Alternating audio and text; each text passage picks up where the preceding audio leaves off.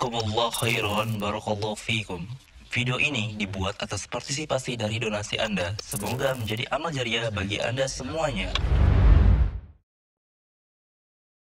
Bismillahirrahmanirrahim. Innal hamdalillah nahmaduhu wa nasta'inuhu wa nastaghfiruh. ونعوذ بالله من شرور أنفسنا ومن سيئات أعمالنا من يهده الله فلا مضل له ومن يضلل فلا هادي له أشهد أن لا إله إلا الله وأشهد أن محمدا عبده ورسوله لا نبي بعد Para jamaah sekalian, kaum muslimin dan muslimat yang semoga dirahmati dan disayangi oleh Allah. Assalamualaikum warahmatullahi wabarakatuh Alhamdulillah segala puja dan puji kepada Allah Salawat dan salam kepada Nabi Muhammad Sallallahu alaihi wasallam Para jamaah sekalian di pagi hari yang penuh berkah ini Kita akan membahas ya, tema kajian kita nikmat sehat yang terlalaikan. Nikmat sehat yang terlalaikan. Judul ini berdasarkan suatu hadis di mana Rasulullah sallallahu alaihi wasallam bersabda, "Ni'matani makbudun fihima kathirun minan nas." as-sihhatu wal farad. Ada dua nikmat yang paling sering dilalaikan oleh manusia yaitu nikmat kesehatan dan nikmat waktu luang. Salah satu yang sering dilalaikan adalah nikmat kesehatan.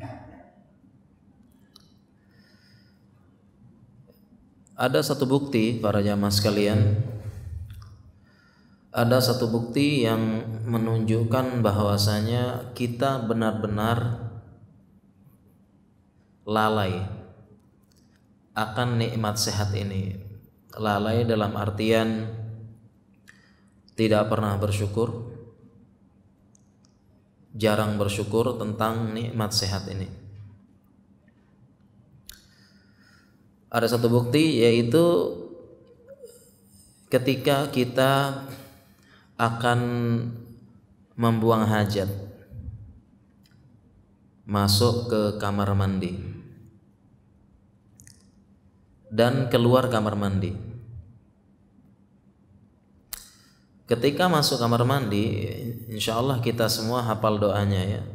Allahumma inni a'udzubika minal khubuthi wal khaba'ith. Ya Allah, aku berlindung dari jin laki-laki dan perempuan. Ya, karena memang di kamar mandi adalah tempat yang kita tidak boleh berlama-lama di sana. Kemudian kalau kita keluar kamar mandi, keluar kamar mandi doanya adalah singkat doanya. Gufronak. Gufronak yang dalam bahasa Arab gufronak ini termasuk maf'ul mutlak dalam bahasa Arab. Maf'ul mutlak litaukid. Artinya maksudnya adalah untuk menekankan.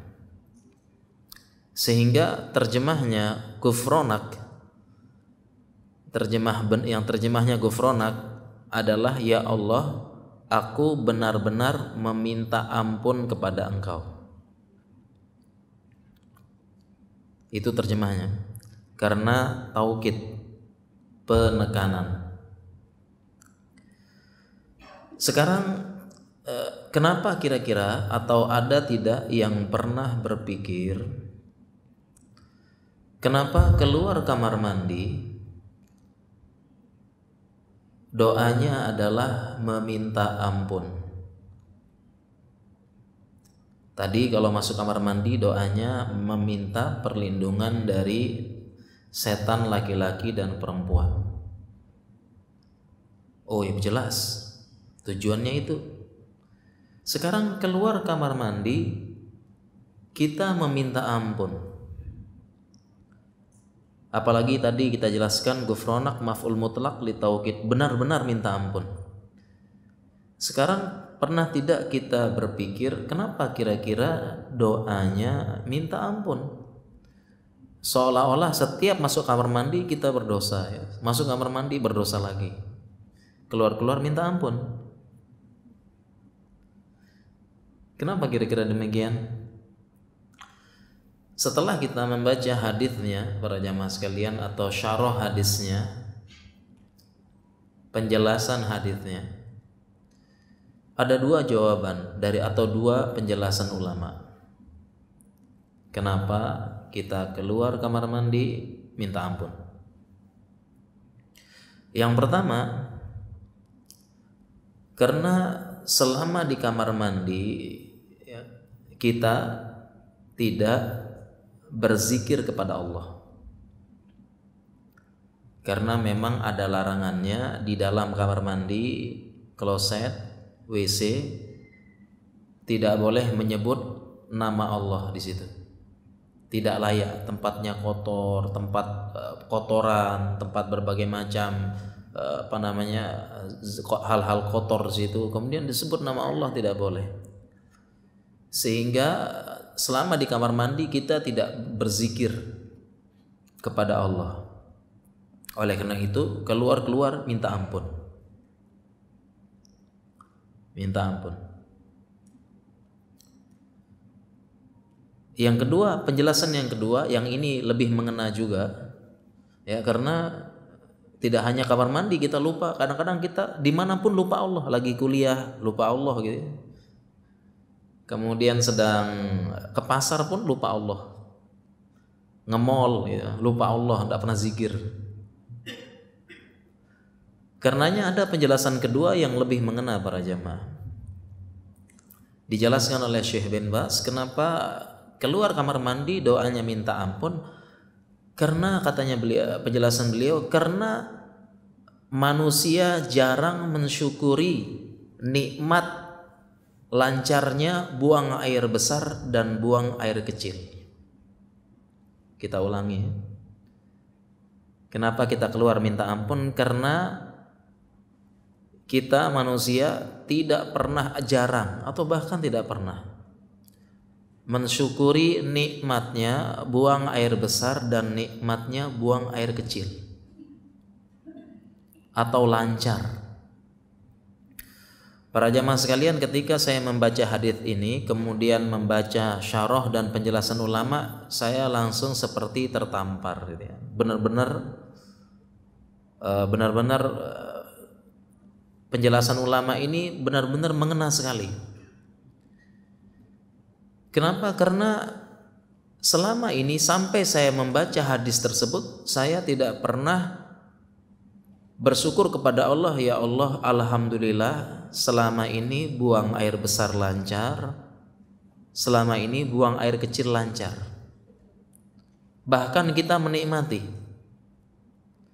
Katanya orang makannya dinikmati, keluarnya juga dinikmati ya makanya ada yang buang air besar sambil baca sambil baca ini ada yang sambil ngerokok gitu ya nikmat banget memang masuknya dinikmati keluarnya dinikmati apalagi sampai kebelet ya kebeletnya sudah nusuk-nusuk ya sakit kemudian menemukan kamar mandi melepas hajat wah lega seolah-olah uh, gunung yang berat itu sudah lepas lega dan nikmat rasanya. Ternyata memang tidak pernah kita syukuri selama ini. Kira-kira para jamaah pernah tidak seumur hidup mensyukuri ya Allah, alhamdulillah nikmat buang air besar. Lancar buang air kecil pernah tidak seumur hidup ini para jamaah? Bisa jadi seperti saya, tidak pernah. Tidak pernah para jamaah. Makanya benar, keluar kamar mandi apa? Gufronak itu penjelasannya minta ampun kita.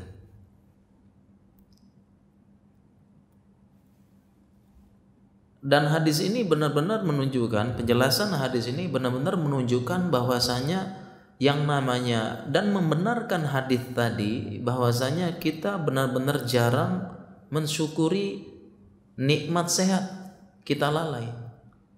Kenapa para jamaah sekalian?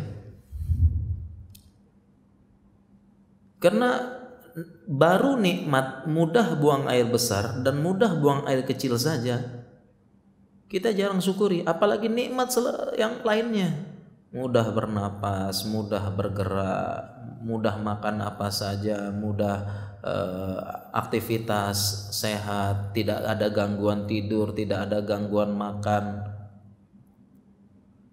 Masih banyak nikmat sehat lain lain yang benar-benar kita jarang syukuri.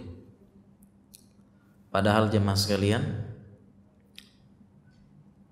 apabila nikmat buang air besar dan nikmat buang air kecil ini dicabut oleh Allah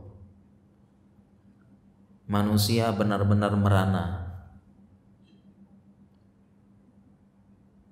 Nikmat ini dicabut oleh Allah. Kita ya para jamaah sekalian kita tenaga medis sering bertemu dengan pasien yang Allah cabut nikmat ini Allah cabut nikmat buang air kecil dan nikmat buang air besar. Yang pertama nikmat buang air kecil. Beberapa pasien terkena penyakit batu saluran kencing.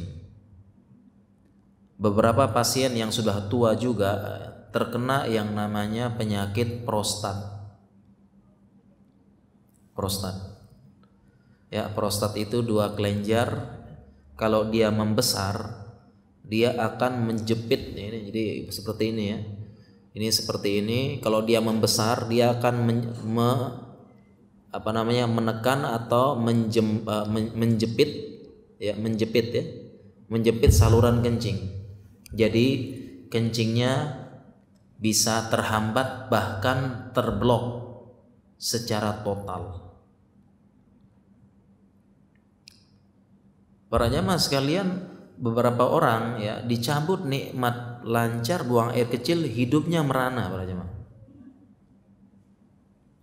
Seperti yang prostat tadi atau yang uh, terkena batu tadi. Yang pertama merana hidupnya. Apa tidak benar-benar kasihan. Yang pertama dia tidak bisa seperti kita ini ya duduk santai seperti ini. Dia akan merasa namanya kalau bahasa Jawa itu anyang-anyangan. Nggak enak rasanya ada nyangkut di sini ya. Kemudian ketika pergi ke kamar mandi dia butuh waktu sekitar 10 sampai 15 menit. Eh, berapa menit untuk mengedan. Kalau kita kan masuk kamar mandi ser ya, lega. Ah kalau dia sampai kamar mandi ini perlu ngeden dulu. Ngeden yang kuat. Lama baru keluar. Sekiranya dia keluar yang keluar bukan kayak kita selancar gitu ser lancar. Ini keluar nih kadang-kadang sedikit atau bahkan tetesan tes tes tes. Setelah itu kalau kita kan merasa lega merasa nikmat sekali rasanya. Apalagi habis kebelet keluar langsung tes wah nikmat banget. Beban-beban lepas gitu ya. Kalau dia begitu keluar masih ada perasaan tersisa.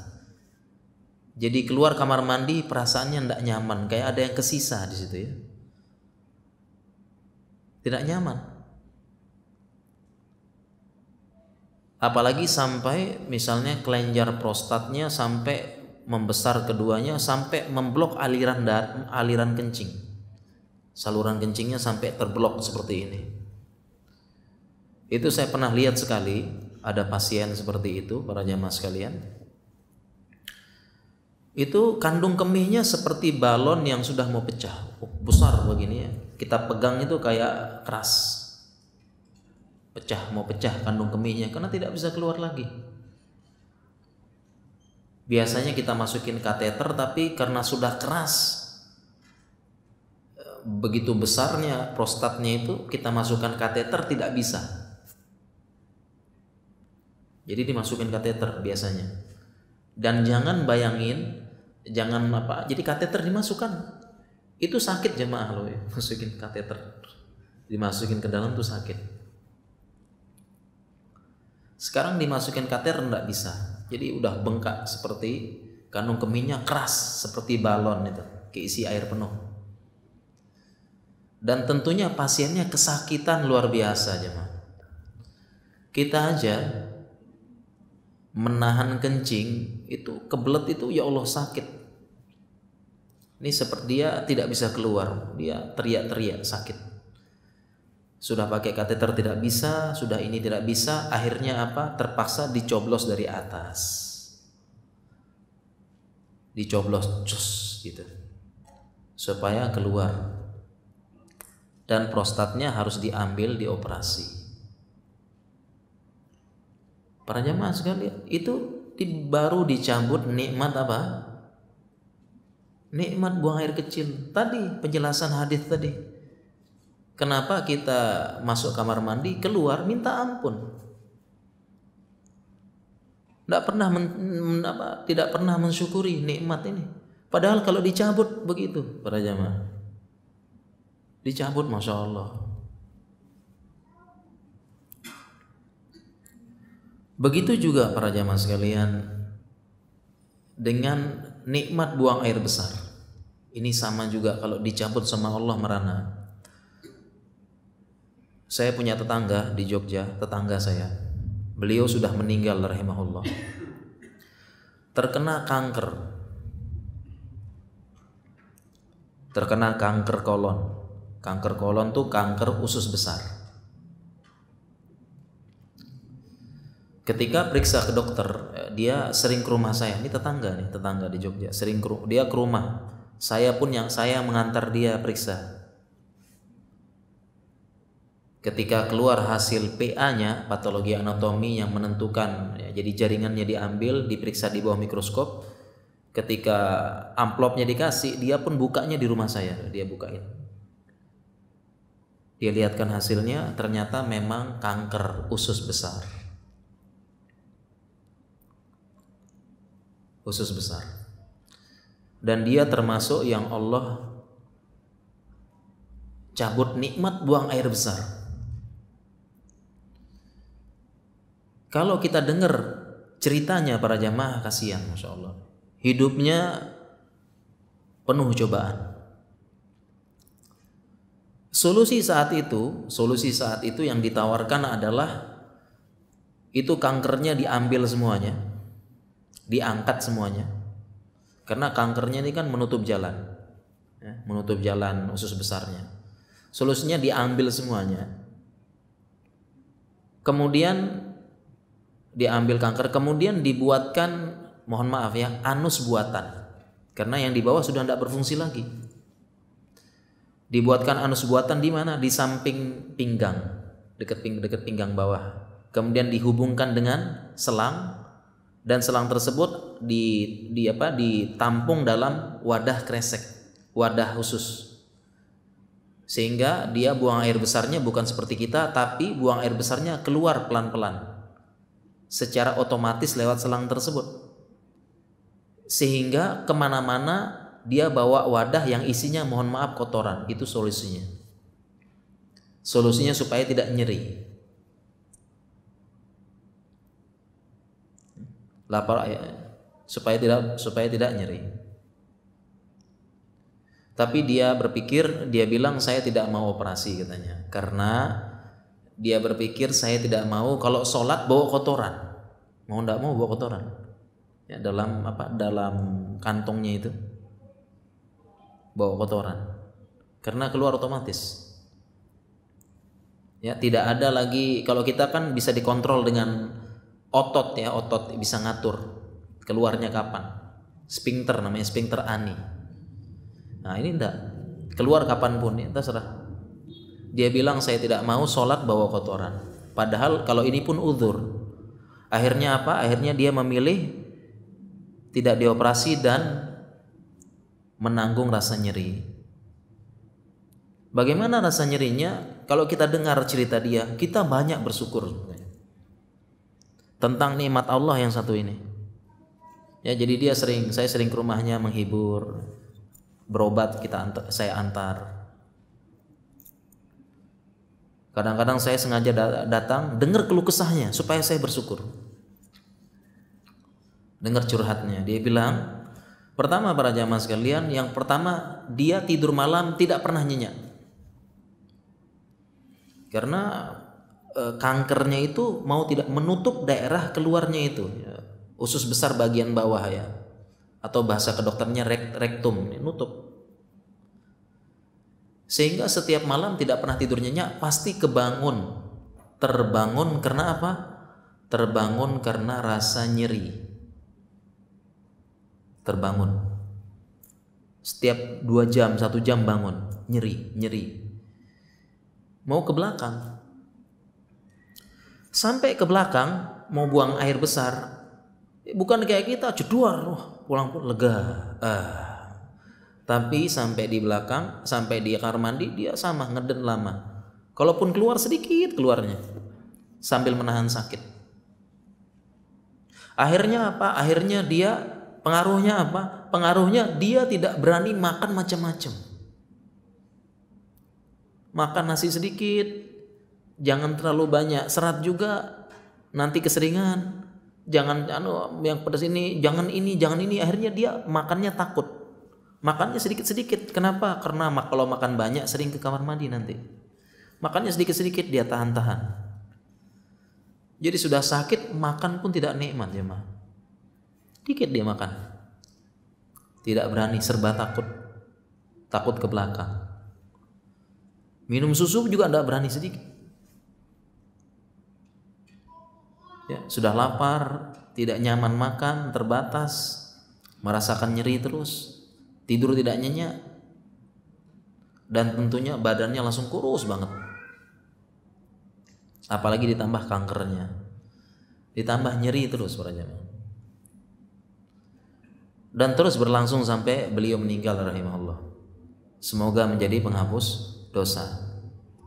Dan menghadap dan kita berharap beliau menghadap Allah tanpa dosa sama sekali ini salah satu hikmahnya ujian di mana Rasulullah Shallallahu Alaihi Wasallam bersabda, "Ma yazalul bala'u bil mu'min wal mu'minah fi jasadihi wa malihi wa waladihi hatta yalqallah wa ma alaihi khati'ah." Yang namanya bala, yang namanya ujian, musibah pasti menimpa seorang mukmin dan mukminah yang beriman saja pasti akan menimpa terus pada jasadnya, jasadnya, pada hartanya, pada anak-anaknya, terus menimpa. Sampai kapan? Sampai dia bertemu dengan Allah tanpa dosa sama sekali. Jadi ujian-ujian kita ini para jamaah ujian, kesusahan, ini semuanya niat baik Allah agar menyucikan mensucikan dosa kita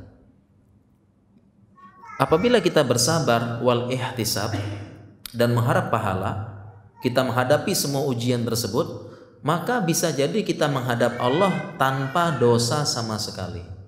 Sebagaimana hadis tadi. Makanya kita selalu husnudzon pada Allah.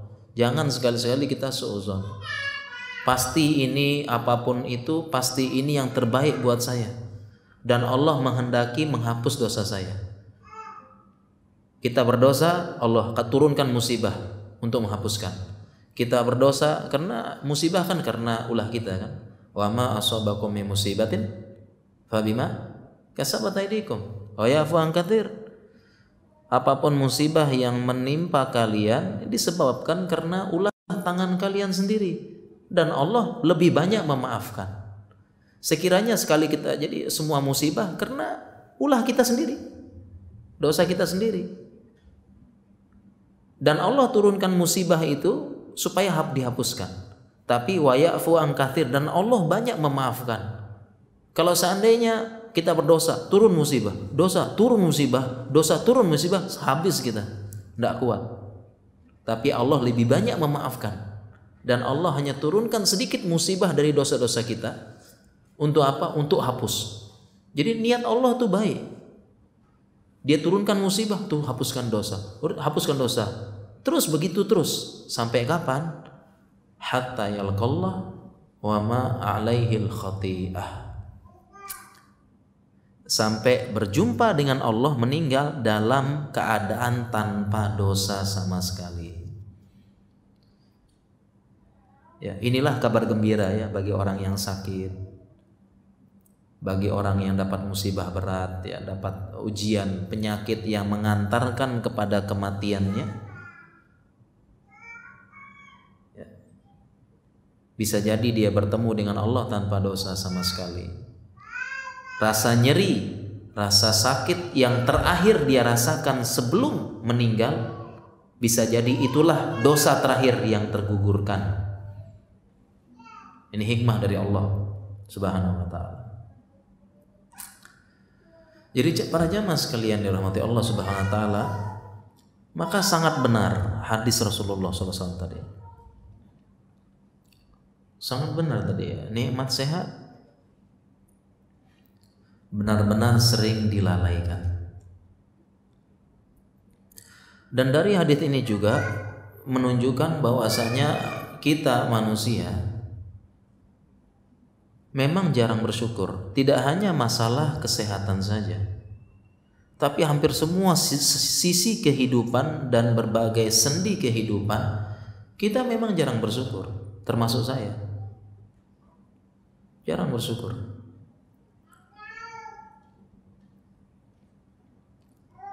Banyak mengeluh. Makanya disebutkan dalam Al-Qur'an innal insana li rabbihim lakanud Sesungguhnya manusia terhadap Robnya itu kanut, mengingkari. Dan tafsirnya Ibnu Katsir dalam ayat ini, beliau menafsirkan manusia ini ya mengingat-ingat musibah dan melupakan nikmat yang banyak.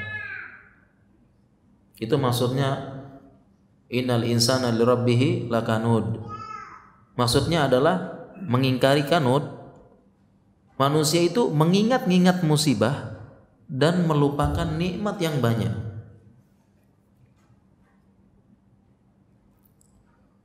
Dan kita sering begitu. Baru sakit sehari, kita lupa sudah sehat 10 tahun. Sudah sehat berapa? 15 tahun, 20 tahun sehat, baru sakit sehari. Lupa kita sudah sehat berapa lama.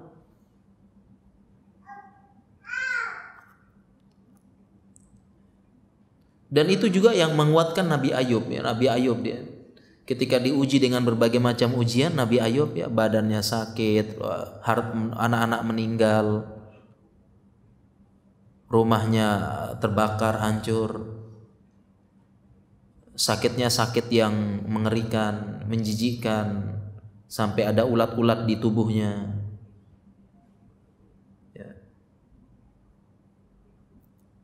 ketika istrinya ya mendapatkan apa uh, provokasi ini yuk sudah Ayub tidak seperti dulu lagi. Kemudian Ayub itu mengingatkan istrinya berapa lama kita hidup? Berapa lama kita, badan, saya sehat? Oh sekian tahun berapa lama saya sakit? Baru baru sekian. Bukankah lebih lama kita sehat kemarin? Berapa lama kita miskin? Oh baru sebentar ini. Berapa lama kita kaya? Udah berapa? Udah puluhan tahun. Jadi jangan uh, jangan mengingkari. Nah, begitulah kita jemaah. Baru sakit sehari lupa. Atau baru mat, uh, baru mati listrik satu jam, langsung maki-maki PLN. Mana PLN ini? Padahal selama ini nyala terus.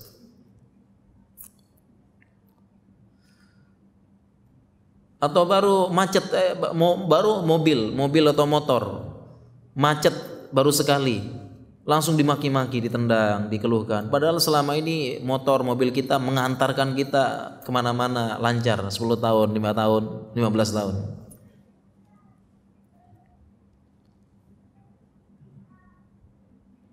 Dan kita para jamaah benar-benar ya ini peringatan bagi saya juga kita kebanyakan mengeluhnya kita ini. Contohnya pekerjaan Ketika ada pekerjaan, kita mengeluh capek. Ketika nganggur, sama juga nyari kerjaan, gitu ya. Sama. Kita juga misalnya dokter ya. Dokter kadang-kadang kalau pasiennya kebanyakan mengeluh kadang-kadang ya. Aduh, kebanyakan nih capek, gitu ya. Pasien kebanyakan capek. Periksa. Capek jemaah. Capek dan jenuh jadi dokter ya. Bayangin aja sehari periksa 10 pasien diabetes, kita ulangi 10 kali ngomong tentang diabetes. Jenuh nggak? Jenuh, Pak. Waduh. Tapi kita ngeluh tuh, aduh capek, ngeluh dan sebagainya. Di sisi lain, banyak orang pengen jadi dokter gitu kan. Nah, kita ngeluh, kita ngeluh aja. Ada kerjaan ngeluh, nganggur ngeluh. Kan? Kadang-kadang kan kita ngeluh dengan pekerjaan kita sekarang nih. Aduh capek ngantor capek. Padahal itu impian para pengangguran. Dikasih anak nganggur, dikasih anak ngeluh. Capek ngurusnya, capek mendidiknya, rewel, nakal katanya. Lari sana lari sini. Capek manja ini ngulu capek kita anak ini aduh rewel apa begini begini Padahal anak kita ini impian orang-orang yang tidak dikaruniai anak.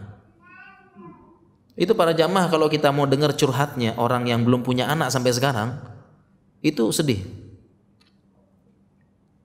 Ya curhatnya sama dokter biasanya. Itu orang yang belum punya anak nikah 5 tahun, 7 tahun, 10 tahun belum punya anak itu sedih luar biasa jamaah. Sedih luar biasa. Dan jangan coba-coba memancing kapan hamil. Kapan ini? Wow, itu sedih luar biasa itu. Sedih. Sampai ada yang curhat, saya lebih baik miskin, lebih baik apa? Yang penting punya anak katanya. Lebih baik miskin, lebih baik begini, lebih baik apa? Yang penting punya anak. Itu sedih, sedih banget itu. Orang yang tidak punya anak lima tahun, jangankan lima, sepuluh tahun tidak punya anak, waduh sudah Sedih ini. Di depan saja, di depan kita saja dia senyum, di belakang nangis. Baik baik eh, baik laki-lakinya, suaminya, apalagi istrinya, lebih lagi. Istrinya lebih lagi, nangis terus mungkin. Sedih ya, makanya jangan lima tahun tidak punya anak terus kita sindir-sindir tidak punya anak. Oh itu sedih banget itu. Jangan kita lukai hatinya. Sedih tidak punya anak. Bayangin saja lima sepi rumah sepi tidak ada tangisan, tidak ada apa, hidup datar, jenuh apa, diolok kemudian disindir-sindir lagi. Ya. Dengar berita orang lain ya, melahirkan anaknya, alhamdulillah terlahir anak kami, oh dia langsung sedih.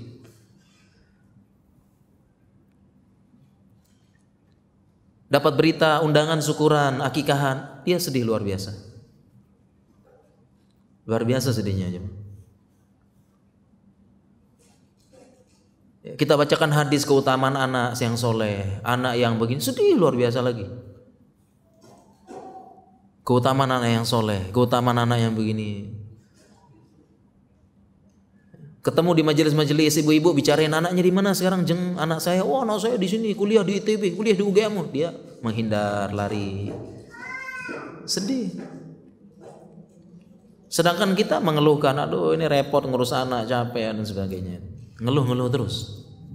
Padahal dinanti-nantikan oleh orang yang tidak punya anak. Demikian juga kita ngeluh harta sedikit padahal ini dirindukan oleh orang yang punya hutang. Kita mengeluhkan Indonesia juga sama, mengeluhkan negara, aduh negara Indonesia begini-begini tapi dirindukan oleh negara-negara yang tidak stabil, perang dan sebagainya. Dirindukan oleh rakyat Suriah, dirindukan oleh rakyat Irak, dirindukan oleh Mesir yang aman. Ya mereka meni apa rusuh, ya tidak tenang. Ya, sekarang bertemu teman, besok sudah mati temannya atau meninggal di depan dia. Sekarang ketemu bapaknya, besok mati bapaknya, meninggal. Rusuh, tidak aman, tidak tenang, ke mana-mana susah. Ya, jadi kita juga sama ini.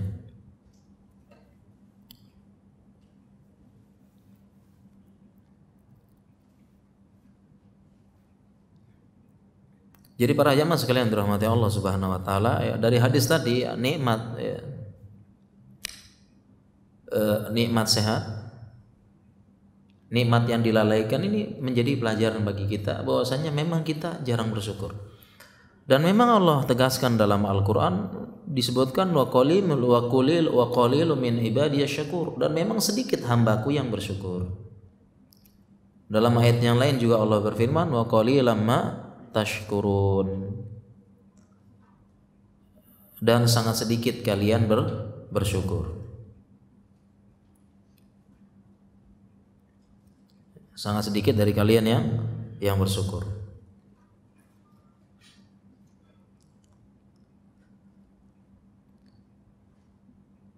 Dan para jamaah sekalian, bersyukur ini ya bersyukur ini adalah jalan menuju kebahagiaan.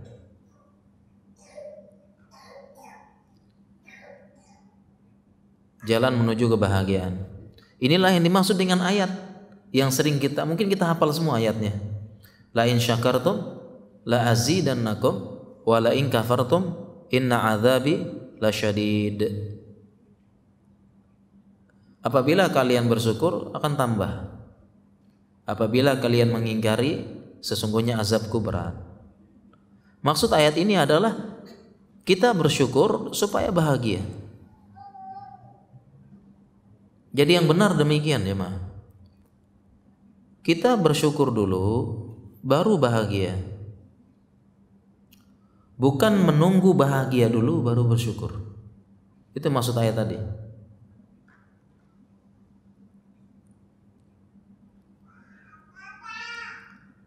Kebanyakan kita kita ini tunggu bahagia dulu baru syukur dulu.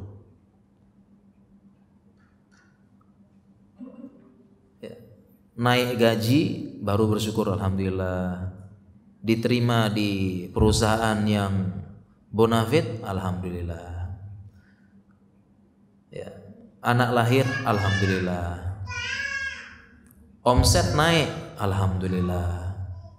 Bisnis lancar alhamdulillah. Buka cabang alhamdulillah. Kita kan begitu ya jemaah. Setelah nunggu bahagia datang baru kita syukur pada Allah. Ya Allah alhamdulillah bersyukur. Nah yang benar ayat tadi adalah kita tuh bersyukur dulu baru bahagia. Kita bersyukur dulu baru bahagia. Bersyukur dengan nikmat Allah yang banyak pada diri kita saat ini dan detik ini. Nikmat Allah yang sangat banyak. Banyak nikmat Allah ini Cara kita berbahagia dengan bersyukur. Sekarang bagaimana cara bersyukur para jamaah? Cara bersyukur adalah sebagaimana hadis Nabi sallallahu alaihi wasallam. Beliau bersabda, "Unzuru ila man huwa asfala minkum wa la tanzuru ila man huwa fawqakum. Dzalika alla tadharu ni'matallahi alaikum." Ini cara bersyukur. Unzuru ilaman huwa asfala minkum. Lihatlah orang-orang yang di bawah kalian dalam urusan kemewahan dunia, dalam dunia, urusan dunia. Lihat yang di bawah. Jangan engkau lihat yang di atas terus. Yang demikian itu agar kalian tidak meremehkan nikmat Allah kepada kalian. Jadi kuncinya kita banyak bersyukur bagaimana sering-sering melihat yang di bawah kita dalam rangka bersyukur. Untuk bersyukur lihat yang di bawah. Tapi kalau untuk berkarya kita boleh lihat yang di atas sebagai motivasi. Ya, lihat oh ini berhasil, oh begini, begini ya kita uh, tapi kalau untuk bersyukur lihat yang di bawah terus. Lihat yang di bawah terus. Apa yang menyebabkan kita sesak, sempit, susah, berat? Kenapa? Karena kita sering melihat yang di atas terus, tidak pernah melihat yang di bawah. Kesempitan hidup kita ini, kesulitan hidup kita ini kenapa? Karena kita mayoritas pergaulan kita Ingat para jamaah, mayoritas pergaulan kita, mayoritas paparan sehari-hari kita adalah dengan orang-orang yang dunianya di atas kita. Itu yang membuat kita sesak dan sulit. Serta sempit hidup ini.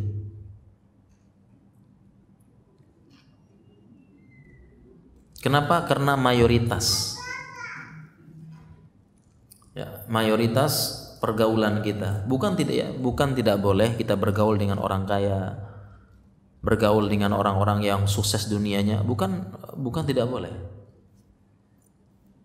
Tetapi bagaimana agar kita jangan terpapar dengan mereka terus, gaulnya dengan mereka terus, melihatnya kekayaan mereka terus. Ini yang bikin sesak hidup, kesulitan.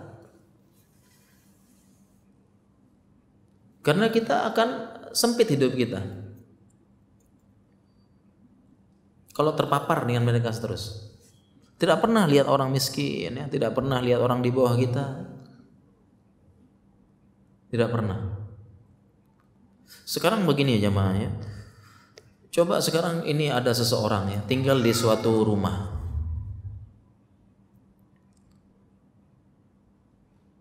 Satu rumah ya. Tinggal di rumah, dia punya tetangga kanan kiri, kanan kiri depan orang-orang kaya semua. Dia punya rumah, punya motor. Tetangga depan itu punya mobil. Bagus mobilnya. Setiap ketemu dia, dia ngomong mobil terus, mobil, mobil. Terus dia motor. Dia cerita jalan-jalan dengan mobil ke sana. Dia, dia cuma punya motor. Tiap hari ketemu ngobrol.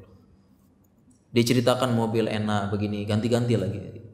Tetangga sebelah kanan ya dia mungkin sering jalan-jalan ke luar negeri. Jalan-jalan terus uang ada. Setiap ketemu dia ngobrol. Keluar rumah ke mana? Oh lagi mau jalan-jalan ke sana begini. Pulang-pulang dapat cerita. Jalan ke sini, jalan ke sini bahagia, dapat foto, dapat apa. Tetangga sebelah kiri lagi orang yang hidupnya mudah, terkenal, dihormatin orang. Dia cerita begini, begini. Nah, kalau setiap hari pemandangannya seperti itu, Tiap hari terpapar seperti itu sedangkan dia cuma punya motor. Rumahnya begini, terus sebelahnya rumahnya bagus, dia masuk ke rumahnya alat-alat bagus, canggih, otomatis, ya terkini, rumah apa bagus, furniturnya bagus apa. Tiap, tiap hari dia lihat itu, tiap hari ngobrolnya itu, terpapar dengan itu, sempit hidupnya.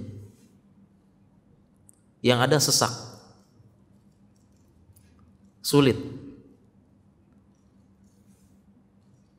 Dia pengen juga seperti itu tapi tidak mampu. Tapi para jamaah sekalian sekarang diganti tetangganya. Dia punya motor tapi tetangga depannya tidak punya motor, sepedaan. Anak tiga, kalau ngantar tuh naik sepeda capek, gonjeng goncengan tiga. Kalau hujan sulit. Tetangga sebelah rumahnya jelek juga. Ya, bocor dan sebagainya. Tetangga sebelah ini susah hidupnya, banyak utang. Setiap hari dia lihat pemandangan seperti itu. Dia lihat, oh tetangganya berangkat naik sepeda, sulit dia naik motor. Sebelahnya kalau musim hujan banjir, rumah aman. Sebelahnya lagi cerita hutang, dikejar rentenir apa, dia lihat rumahnya gedor-gedor, dicari, dia tenang-tenang hidupnya. Dia banyak bersyukur.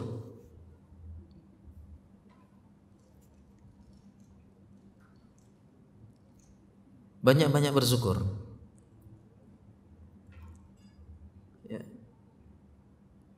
Orang punya motor, dia akan sesak kalau lihat punya mobil terus.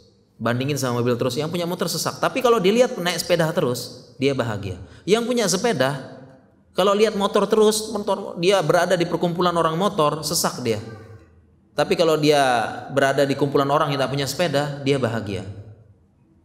Cuma jalan kaki. Orang jalan kaki, dia cuma jalan kaki, ke mana-mana jalan kaki, dia akan bersyukur kalau dia berada pada orang yang dia akan sesak kalau lihat ada yang punya sepeda, mobil dan sebagainya. Tapi kalau dia berada pada orang yang tidak punya kaki, dia bersyukur. Melihat orang yang tidak punya kaki bersyukur. Demikian juga ada anak merengek-rengek, pengen dibeliin sepatu baru terus sama ayahnya. Sepatu baru, sepatu baru, sepatu baru. Kemudian ayahnya ajak. Ajak ke mana? Ada anak tidak punya kaki dua-duanya. Lihat. Berhenti terus minta sepatu baru. diajak kepada anak yang tidak punya kaki. Ya dia tidak bisa pakai sepatu apa pun. Jadi begitulah kehidupan kita para jamaah. Kehidupan begitu. Kenapa? Karena yang tadi kita sebut ya tadi ya. Bagaimana kalau kita ingin bahagia? Banyak-banyak bersyukur. Bagaimana cara kita banyak bersyukur? Sering-sering lihat yang di bawah kita. Karena kebahagiaan para jamaah itu adalah apa yang kita rasakan hari ini. Hari ini, detik ini yang kita rasakan ini. Hari ini, detik ini, inilah kebahagiaan. Mau tidak mau, detik ini, saat ini kita harus bahagia dengan nikmat Allah yang banyak. Karena saat ini kita tidak bisa, saat ini detik ini kita tidak bisa mengubah langsung. Tidak ada yang saat ini langsung bisa mengubah kekayaannya. Detik ini tidak ada yang bisa merubah langsung jabatannya. Detik ini tidak ada yang bisa merubah langsung kedudukannya. Jumlah uangnya, omsetnya tidak bisa. Jadi kalau saat ini detik ini kita ingin bahagia apa? Yang kita ubah adalah mindset kita. Yang pengen kita ubah adalah mindset kita bahwasanya kita ini sedang nikmatnya banyak. Itu yang kita kita ubah, yang bisa kita ubah. Saat ini detik ini. Yang bisa kita ubah hanya mindset kita. Mindset kita bahwasanya kita ini sedang nikmatnya banyak. Banyak kemudahan-kemudahan. Bagaimana caranya? Yaitulah sebagaimana hadis Nabi.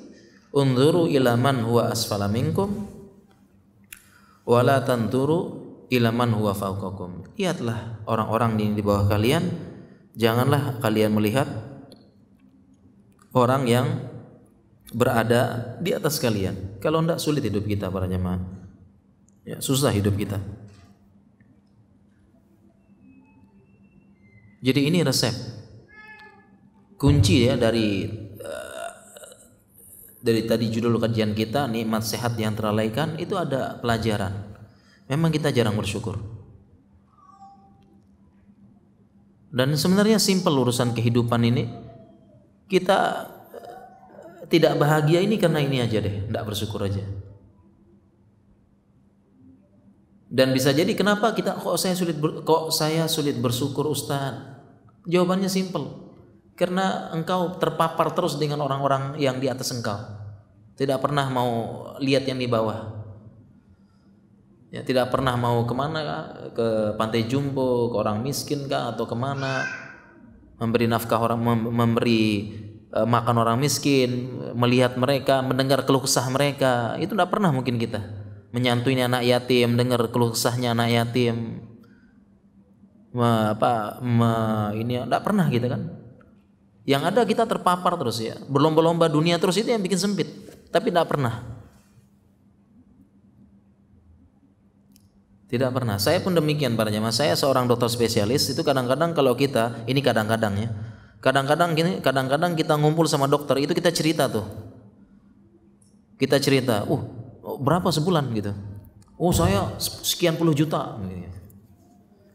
Praktek di sini oh sekian puluh juta. Kadang ini kadang-kadang dan tidak semua ya. Tidak semuanya dokter begitu.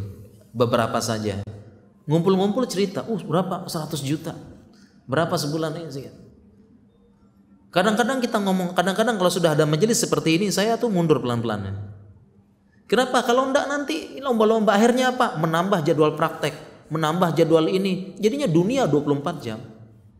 Pagi praktek, sore praktek, malam praktek, sampai tengah malam. Padahal, kenapa? Karena tadi berlomba-lomba tadi, ngobrol-ngobrol, oh saya harus lebih banyak. Oh ternyata standarnya sekian itu, sekian puluh juta. Harus segitu juta, gitu ya. Praktek lagi, praktek lagi, cari. Tidak cukup situ, hari ini lembur, cari lagi, operasi hari lembur, dan sebagainya. Padahal sudah cukup padahal. Hanya karena terpapar gitu, terpapar sama yang kayak sama-sama itu berlomba-lombanya itu. Padahal sebenarnya sudah cukup. Akhirnya apa? 24 jam dunia, capeknya saja.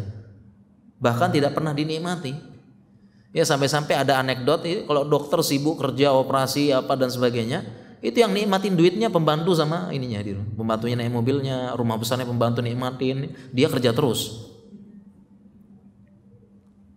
Capek kurang tidur dan sebagainya. Jadi begitu. Nah, kita jangan-jangan begitu tuh. Ya, terpapar ini kaya terus, akhirnya sesek. Padahal saat itu nikmat banyak saat itu. Sudah enak makan, sudah enak tidur, sudah enak begini, tapi terus kejar terus dunia. Lembur, lembur, lembur. Cari, cari, cari, padahal udah cukup sebenarnya. Ya. Inilah yang dimaksud dengan budak budaknya uang, makanya Taisa Abdul Dinar, Taisa Abdul Dirham. Celaka hamba dinar, celaka hamba dirham. Rasulullah menyebutkan hamba budaknya uang, budaknya dinar dan dirham. Kenapa disebut budak para jamaah? Iya, karena sadar tidak sadar kita diperbudak sama uang. Uang bilang cari aku. Ya, bahasa orang Jawa, enggih uang. Ya, dia cari. Kurang, tambah jam kerja. Apa kita bilang sama uang? Enggih uang. Ya. Bahasa orang Jawa ya. Cari kita cari lagi. Terus uang bilang lagi kurang, tambah lembur hari libur, Sabtu Ahad kerja lagi. Enggih uang. Kita kan diperintah sama uang, kita tambah terus. Uang bilang kurang lagi. Kamu harus korupsi, enggih uang korupsi. Kurang, tambah lagi jumlah, iya enggih ya. Kan diperbudak sama uang. Diperbudak. Itu maksudnya hadis Nabi Ta'isa Abdul Dinar, Ta'isa Abdul Dirham. Kita diperbudak semua uang, kita iakan semua tuntutan uang tersebut, iya, iya, iya, iya. Dan ada penjelasan bagus dari hadis Rasulullah SAW bahwasanya yang namanya uang, ya, selama kita tidak pakai uang tersebut, maka kita telah menjadi budaknya.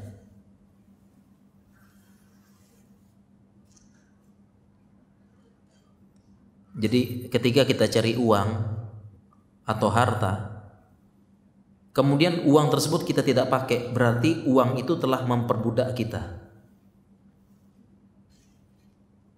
Contohnya para jamaah, kita kerja cari uang, bekerja 5 tahun, 10 tahun, 15 tahun.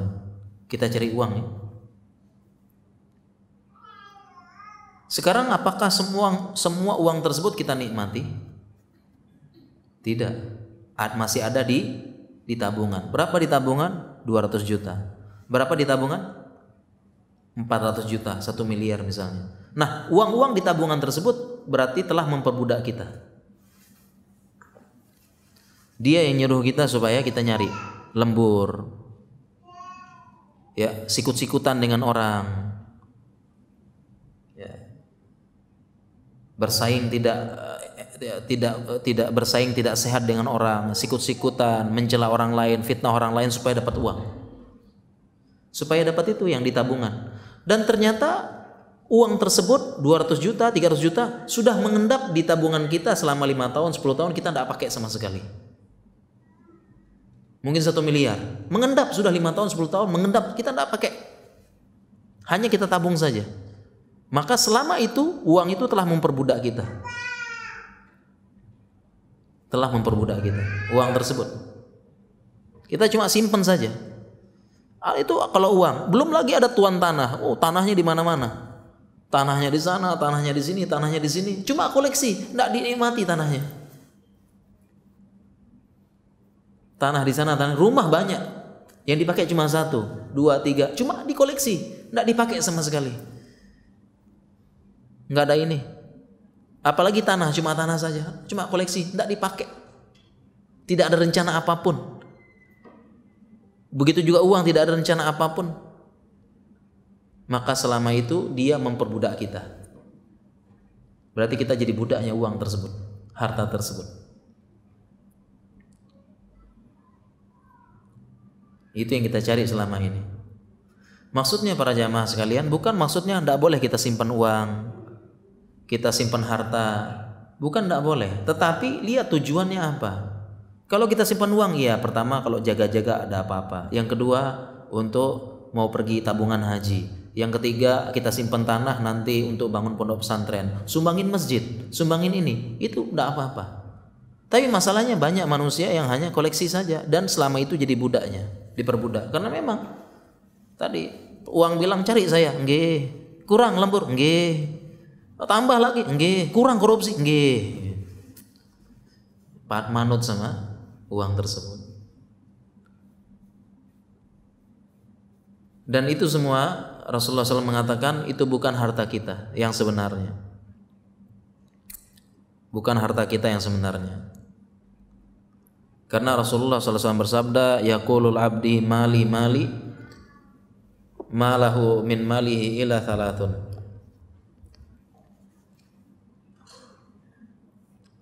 seorang hamba mengatakan ini lo hartaku. Ini lo hartaku. Ini hartaku nih. Coba lihat nih hartaku. Rumah mobil villa tanah. Ini hartaku. Mali mali tapi Rasulullah SAW bersabda lanjutin malahu min malihi ila malahu min malihi ila salasun. Sebenarnya harta dia cuma tiga. Dia sih mengakunya ini harta saya. Tapi Rasulullah SAW mengatakan hartanya cuma tiga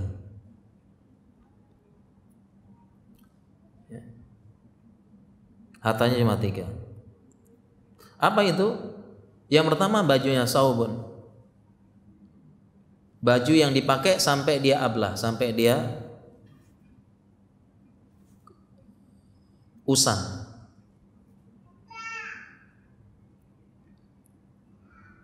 Wa albasa kemudian yang kedua apa yang dia makan? Wa akala hatta apa yang dia makan sampai habis. Kemudian yang ketiga wa ma'anfaqah faktana. Yang ketiga adalah apa yang dia infakkan. Maka itulah harta yang sebenarnya. Fama siwa ghairu dzalika fahuwa dzahibun wa tariku li ahlihi. Atau kama qala Rasulullah SAW. Selain tiga ini, maka akan meninggalkan dia atau nanti dia tinggalkan kepada ahli warisnya. Jadi para jamaah sekalian katanya hamba bilang mali mali ini hartaku lihat hartaku mobil rumah tapi Rasulullah bilang hartanya cuma tiga apa yang dia pakai? Ya apa yang dia pakai? Bajunya sampai usang? Apa yang dia makan sampai dia uh, habis? Dan apa yang dia infakkan? Cuma tiga ini. Hanya tiga ini. Maksudnya apa jamaah harta kita yang sebenarnya adalah apa yang kita nikmati saat ini. Itu maksud Rasulullah SAW harta kita yang sebenarnya apa yang saat ini kita sedang nikmati. Seperti saya sekarang, saya sedang pakai baju, inilah harta saya yang sebenarnya. Saya sedang memakai HP, sedang memakai jet-jet, ini harta saya yang sebenarnya. Kalau saya pakai mobil, itu harta saya yang sebenarnya, sedang pakai setiap hari. Yang saya pakai, yang saya nikmatin. Selebihnya itu bukan hartamu. Karena engkau hanya koleksi dan engkau tidak pernah nikmati hanya engkau simpan dan engkau tidak nikmati dan dia telah memperbudak engkau selama ini. Dan betapa banyak manusia hanya koleksi harta. Koleksi, koleksi, koleksi, koleksi tanah di mana-mana, rumah di mana-mana. Ini kenapa koleksi saja? Tidak ada niat untuk apa-apa. Bukan masalah koleksinya, tapi tujuannya itu apa? Dia kumpulkan harta. Apa orientasinya? Harusnya orientasinya adalah untuk kebaikan. Tadi ya dia beli tanah banyak oke okay lah bagi beberapa tanah untuk bangun masjid. Bangun pondok bangun rumah tahfiz. Bangun untuk anak yatim. Tanahnya disumbangkan sebagian. Hartanya banyak iya sebagian untuk disumbangkan untuk bangun masjid. Dan sebagainya. Tapi tidak. Ya. Jadi kita telah diperbudak oleh harta para jemaah. Ya, ini yang itulah maksud hadis Nabi tadi, ta'isa abdul dinar, ta'isa abdul dirham. Celaka hamba dunia, celaka hamba hamba dirham. Ya. Sudah setengah sebelas. Ya demikianlah para jamaah ya. Sudah satu jam lebih ya materi kita tentang nikmat sehat yang dilalaikan. Sesuai dengan hadisnya sangat benar, nikmat sehat banyak sekali kita lalaikan dan ini menggambar dan kita tidak pernah mensyukuri nikmat kesehatan. Dan ini juga mewakili secara umum bukan hanya kesehatan, semua nikmat manusia jarang mensyukuri. Dan sumber kesesat, eh, sumber kesusahan hidup, sempitnya hati, sesaknya dada, tidak pernah bersyukur. Kenapa tidak pernah bersyukur? Karena selalu melihat yang di atas terus. Mayoritas pergaulannya, mayoritas paparannya adalah dengan orang-orang yang lebih tinggi daripada dia urusan dunia. Ini sebabnya inilah dia menyebabkan dia tidak tidak berbahagia. Mungkin demikian para jemaah sekalian yang bisa kita sampaikan pada kesempatan pagi duha yang penuh berkah ini eh, terkait kajian kita nikmat sehat yang sering dilalaikan. Sesuai tadi pesan dari panitia ya materi satu jam lebih sedikit kemudian selebihnya kita uh, laku apa kita tanya jawab ya. Jadi para jamaah sekalian apabila ingin apa ada pertanyaan ya baik tentang kesehatan ataupun fikih kedokteran fikih kesehatan ya ataupun sebulan yang lalu kita pernah membahas fikih kesehatan di sini ya Ya, kalau ada yang ingin bertanya, kami persilahkan ya. Faliyatafadhal. Syukurin.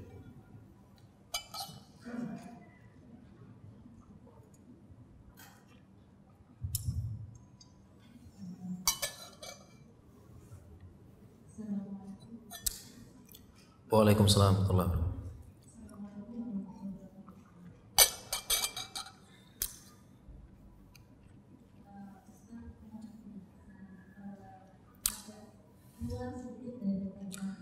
Iya, disilahkan Bu. Mohon maaf Bu, ini mohon dikeraskan sedikit ya, atau didekatkan micnya mungkin ya.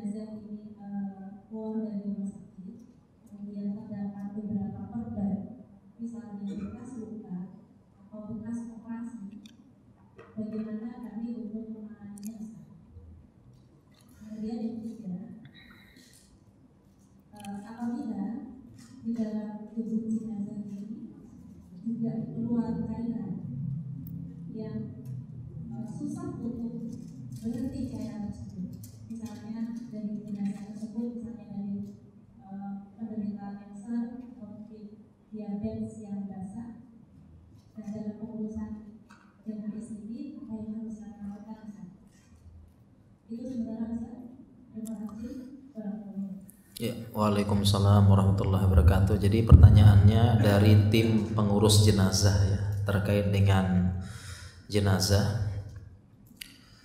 Uh, untuk pengurusan jenazah ya memang mengurus jenazah ya ini diperlukan ya ada yang bisa mengurus jenazah dengan baik sesuai dengan sunnah dan memandikan mengkafani dengan sesuai dengan sunnah yang benar ya Tadi salah satu pertanyaan yang sedengar ya, kalau jenazahnya mengeluarkan cairan terus-menerus. Bagaimana caranya? Jawabannya disumpal sebisa mungkin. Disumpal sebisa mungkin, baik pakai kasa yang agak tebal ataupun yang lainnya. Kemudian juga apabila pada jenazah tersebut ada ya, ada semacam perbankah atau semacam yang lainnya maka kita berusaha eh, melepasnya sebisa mungkin. Prinsipnya adalah jangan sampai merusak jenazah. Kita berusaha mengeluarkan. Oleh karena itu ada paling paling sering muncul pertanyaan. Ini paling sering muncul pertanyaan. Kalau keluarga kita meninggal masih memakai IUD. IUD ya? IUD. Itu untuk apa HKB. Atau meninggal masih pakai gigi palsu. Atau meninggal masih ada pen. Tahu bagaimana pen? Kalau patah tulang, patah tulang kan ditanam pen ya. Kadang dia, kadang ada yang operasi lagi untuk cabut, kadang yang bilang biarin sajalah daripada operasi lagi. Jadi seumur hidup bawa pen gitu ya. Kalau lewat bandara bunyi net ini. Pasti bunyi. Nah, apakah kalau dia meninggal keluarga kita, ini uh, pada jenazahnya ayudi dicabut, pennya dicabut, kemudian gigi palsunya dicabut, maka fatwanya ulama, penjelasan ulama tidak dicabut. Dibiarkan saja. Dengan beberapa alasan. Alasan pertama, pertama hal tersebut akan merusak jasad mayat. Kalau ngambil pen mau tidak mau dirobek lagi. Kalau gigi juga sama dicabut lepas ya cabutnya. Dicabut lepas mau tidak mau ada darah keluar lagi. Begitu juga ayudi, ya, ayudi bagaimana mau dicabut? jasadnya sudah kaku nggak bisa ditarik keras rusak mayatnya nanti alasan pertama karena ada larangan merusak mayat tidak boleh merusak mayat mematahkan tulang mencincang mayat tidak boleh karena hadisnya uh, kakasri kakasri hayyan sebagai engkau mematahkan tulang mayat ini sebagaimana engkau mematahkan tulangnya ketika hidup dan ini larangan Rasulullah SAW ketika perang.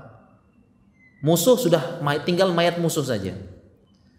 Jadi pas perang ini ada musuh mayatnya musuh. Atau mayat panglimanya, dedengkotnya ini. Sudah mati mayatnya, tapi oleh Rasulullah SAW dilarang untuk dicincang-cincang, dipotong-potong, dibiarkan sudah, kubur saja. Kalau yang lain kan mumpung mayatnya musuh dicincang-cincang. Ya. Udah mayat ini dicincang di apa sebagaimana kisahnya Hamzah. Ya, jenazahnya Hamzah tersebut karena saking benci sama Hamzah dicabek-cabek diambil kemudian jantungnya diambil saking bencinya Rasulullah ya Islam tidak boleh larangannya sehingga tidak boleh ya ya dicincang sama istrinya Abu Sofyan saat itu yang belum masuk Islam ya. Sehingga dalam Islam tidak boleh merusak mayat. Ini alasan pertama. Alasan kedua, kalau kita lepas IUD, pen, gigi palsu, ini akan memotong mengambil waktu. Ya, mau tidak mau panggil ahlinya, panggil apa supaya ini, panggil minimal apa ya ahli mayatnya supaya ngelepas. Karena tidak semua berani. Dan ini memakan waktu dan ini bertentangan dengan hadis anjuran menyegerakan menguburkan jenazah. Karena sunnahnya adalah jenazah itu segera dikuburkan. Segera diurus, tidak boleh ditunda dengan alasan macam-macam. Kenapa? Karena ada hadisnya. Kalau mayat ini baik, maka mayatnya akan bilang, cepat kuburkan, cepat kuburkan. Kenapa kalian tunda-tunda lama? Itu kalau mayatnya baik. Jadi kalau mayatnya ini baik, mayatnya ini, dia bilang, jangan tunda-tunda lama-lama, cepat kuburin. Kenapa? Tidak sabar mendapatkan nikmat kubur. Jadi keluarga kita itu kalau kita tunda sehari dua hari, kenapa tidak dikuburkan? Ini nunggu keluarga dari Amerika, nunggu keluarga dari Alaska datang berapa dua hari lagi baru datang, oh, ditunda ya. Dikubur ditunda dulu, ini tunggu bapaknya, tunggu eh tunggu anaknya, tunggu ininya. Tunggu anaknya sekian dari Amerika, dari Jepang, dua hari baru datang, tidak dikuburkan. Itu dalam hadis. Ya, ruhnya ini bertanya-tanya dalam hadis itu loh. Ayo cepet, kenapa saya tidak dikuburkan? Cepat kuburkan, cepat kuburkan, langkahnya cepat. Gitu. Ya. Itu yang ngomong begitu. Kenapa tidak sabar mendapatkan nikmat azab apa nikmat kubur dan apa yang telah Allah janjikan kepada dia selama hidupnya? Jadi bertentangan dengan sunnah. Kalau kita lepas dulu pennya dan sebagainya. Sehingga pendapat sehingga beberapa pendapat ulama kalau ada pen, IUD, apa dan sebagainya, udah biarkan, nggak usah dicabut.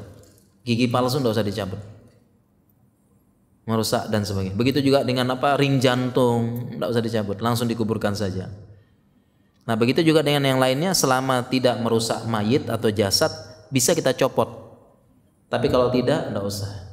Kita kubur dengan ada apa adanya saja. Okay? Mungkin itu ibu ya. Pertanyaannya sudah terjawab ya bu ya? Udah ya? Oh, ya. Sahabat. Iya.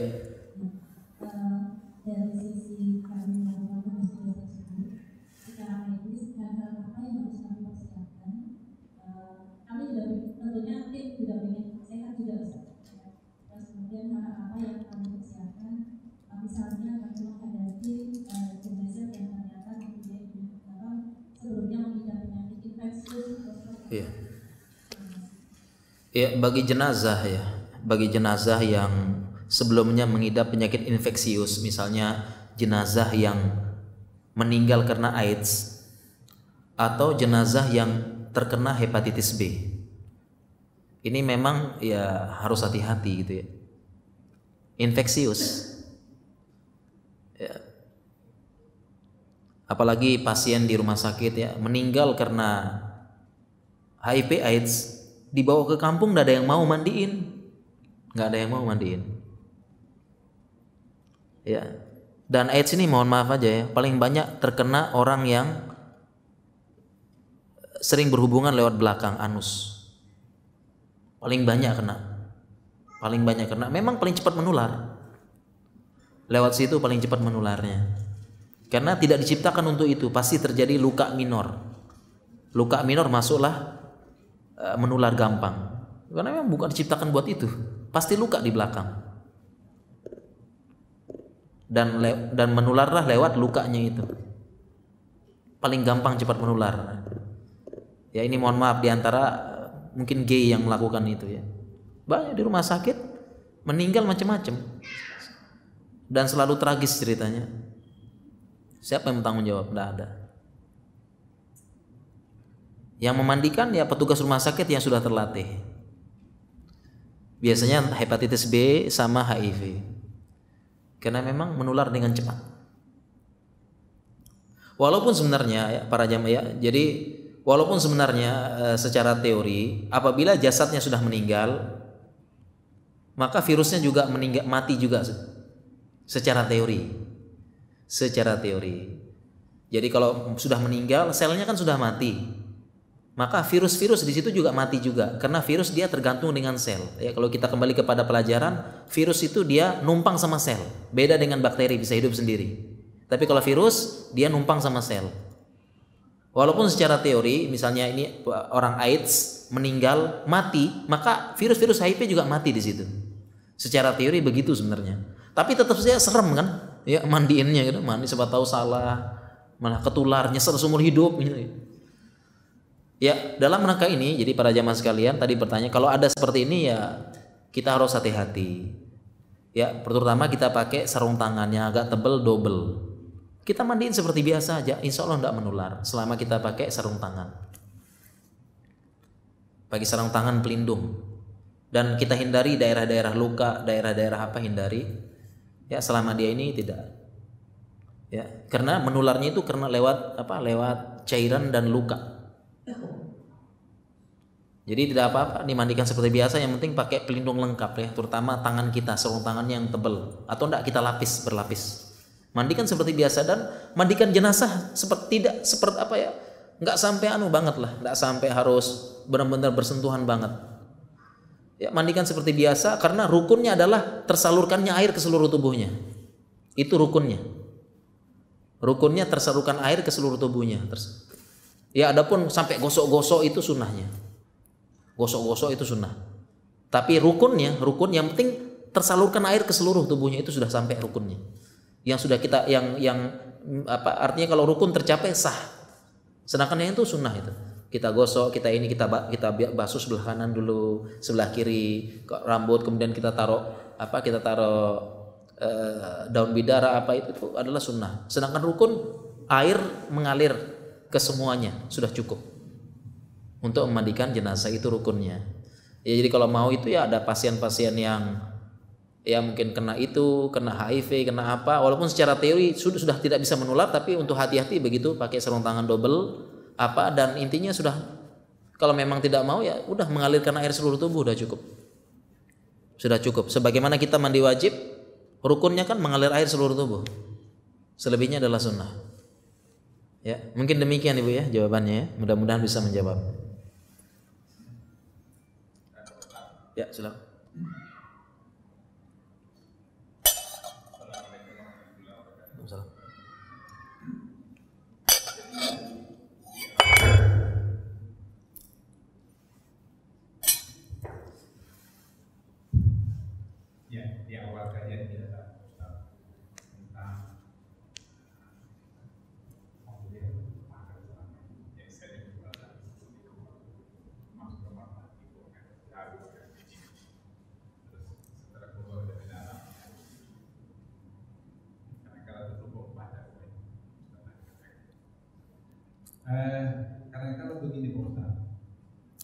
misalnya saya adalah orang pendatang Jakarta sini,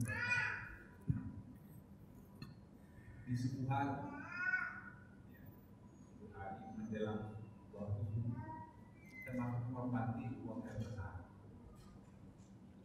Di saat yang bersamaan, saya juga harus mengambil air wudhu di dalam kamar mandi. Pertanyaan pertama Pak Ustaz.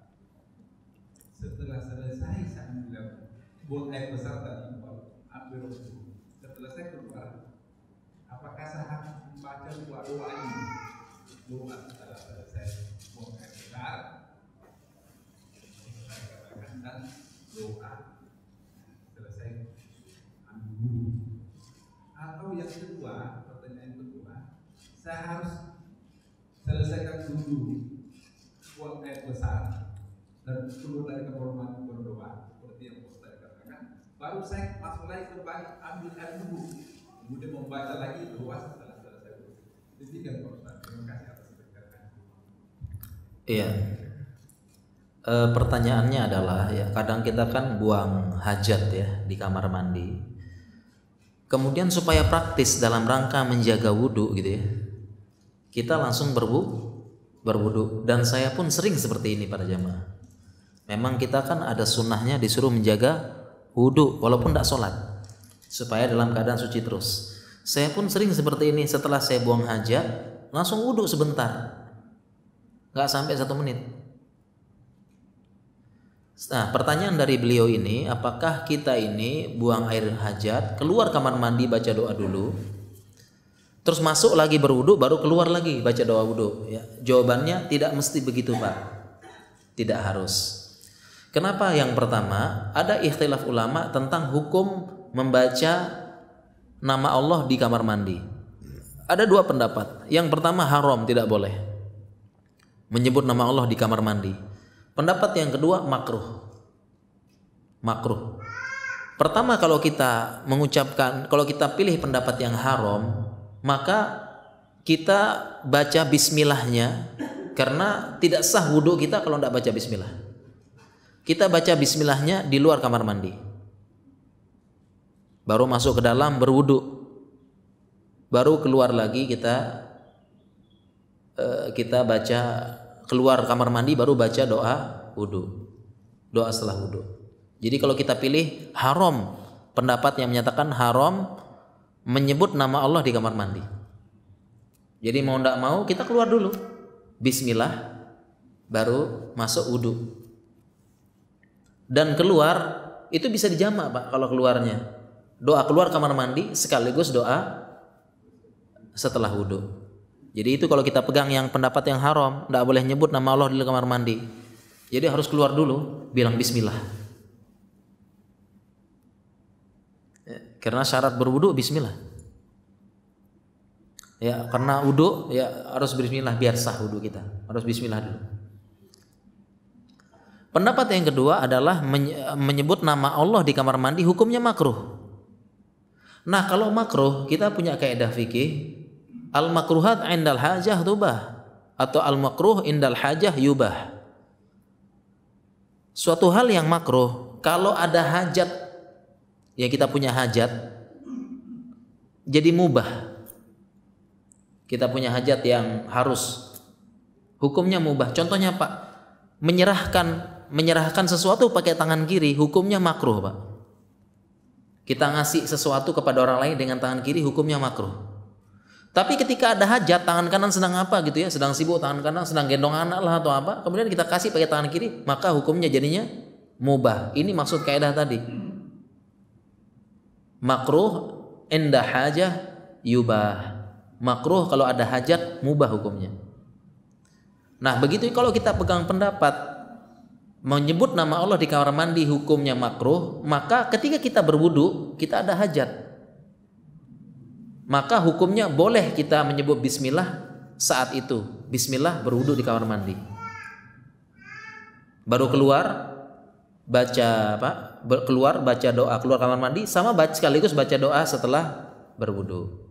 Jadi itu Pak penjelasannya Pak. Terserah mau pilih yang mana ya. Ini kan fikih berlapang-lapang, mau yang haram, mau yang makruh. Kalau haram keluar dulu kita bismillah baru wudhu. Ya. Tapi kalau kita pilih makruh, kalau ada hajat silahkan. Gitu Pak.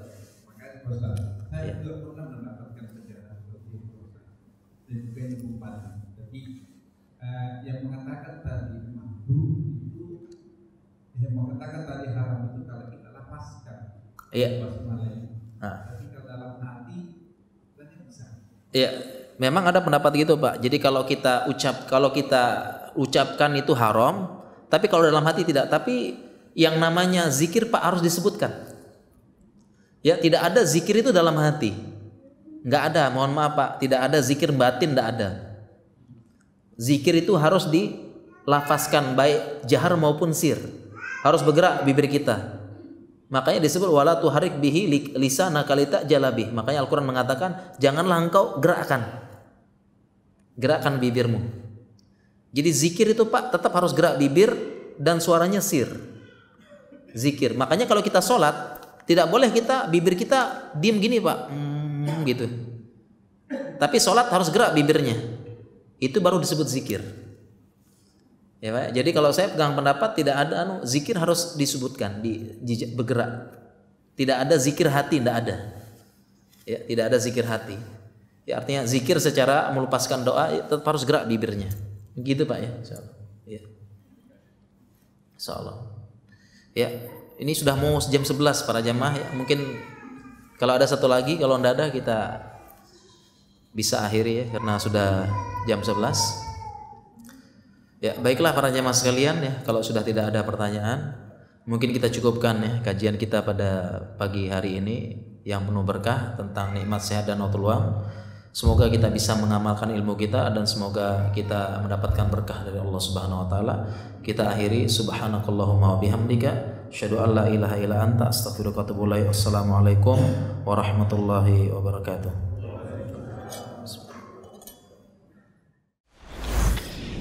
Jazakumullah khairan barakallahu fikum. Video ini dibuat atas partisipasi dari donasi Anda. Semoga menjadi amal jariah bagi Anda semuanya.